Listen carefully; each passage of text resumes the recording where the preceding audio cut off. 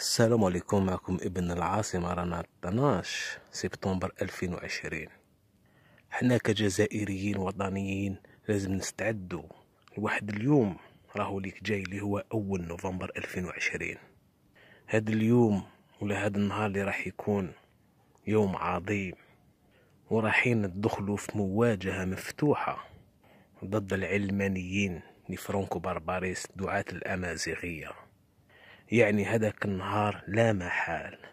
راح يكون الخيط الأبيض بجهة والخيط الأسود بجهة ورايحين يبانوا شخصيات وطنية مع الخيط الأبيض وشخصيات وطنية مع الخيط الأسود. ولازم الوطني الجزائري يعلم أنه معظم الشخصيات اللي راه متواجدة في الساحة كلها تركع للأمازيغية أو للدعاة الأمازيغية. يعني إحنا كشعب راح نتكلوا على الله عز وجل ونتكلوا على أنفسنا. حبيت نحكي لكم واحد القصة ناخذ منها العبرة. القصة تحكي على واحد الشابة ولا جانفي هي شابة جميلة أو جذابة. زادت في العز وتربات في العز وكبرت في العز. بابها تاجر كبير وعنده مصانع ومحلات تجارية يعني كاسب ما شاء الله. وعنده آلاف تاع الخدامين ولا العمال وموظفين. لكن comme par hasard هاد الطفلة ولا هاد الشابة الجذابة طمع فيها راجل راجل كبير في السن ومسؤول في الدولة. وعنده سلطة مطلقة يعني pouvoir. والطفلة هذيك ما تعرفوش ومشي سامعة به. لكن بين ليلة ونهار طاحت المصيبة على عائلة البنت. في ليلة ونهار الدولة باسم السلطة قامت بغلق كل شركات المصانع والإدارات تاع بابها. وبلا حتى سبة وحبسوا الآلاف تاع الخدامين هادوك من الشركات والمصانع والإدارات. وفي نفس الوقت يتقدم واحد الراجل اللي هو محسوب على الدولة.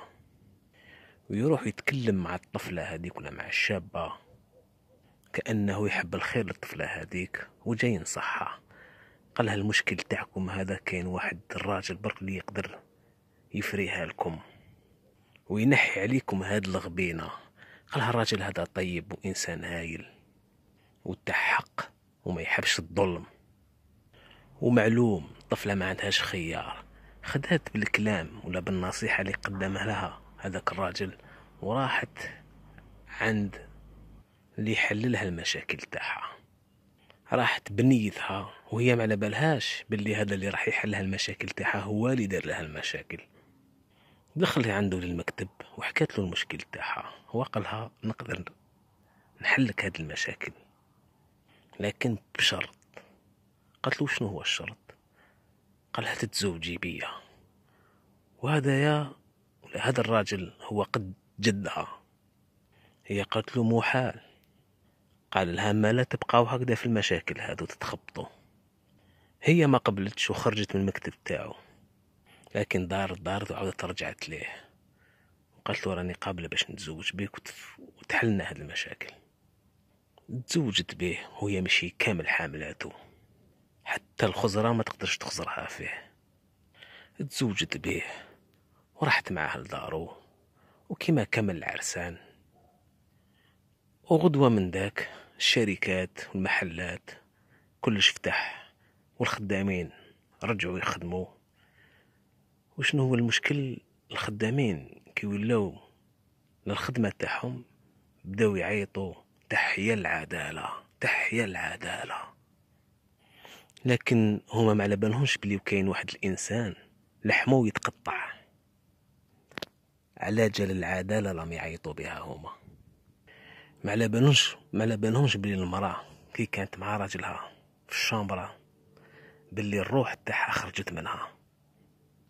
وبقات هي مزوجة به وبقاو هما يخدموا وما زالهم يامنوا بالعدالة الشاهد تاع هاد القصة اللي تخلينا باش ما نامنوش ما نامنوش بالنتائج. لازم نعرفوا الأسباب. كاين أمور كتيرة راهي مخبية وكاين نتائج كتيرة تصرنا ولا نفرحوا بها بصح ما نعرفوش؟ علاش جاو هاد النتائج؟ إحنا الجزائريين رانا مقبلين على واحد نوفمبر 2020 وهذا اليوم صح راح يكون يوم تاريخي ولازم صح نكونوا مستعدين لهذاك النهار لأن المواجهة راح تكون مفتوحة. كاين كتير من الجزائريين عندهم كتر من عام هما ينشطوا خاصة في أمور تاع تاريخ الجزائر ولا تاريخ المغرب العربي. ديروا مليح في بالكم بلي هذاك المنشورات اللي كنتوا تقراوها كلها حقيقية. لازم تعرفوا حاجة. الزواف يعرفوا هذاك الشي كامل ويعرفوا كتر منا.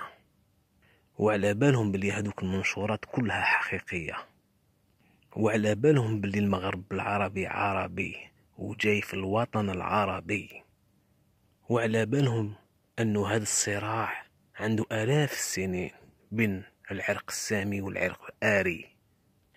يعني بيننا إحنا كعرب وبين الروم ولا الرومان.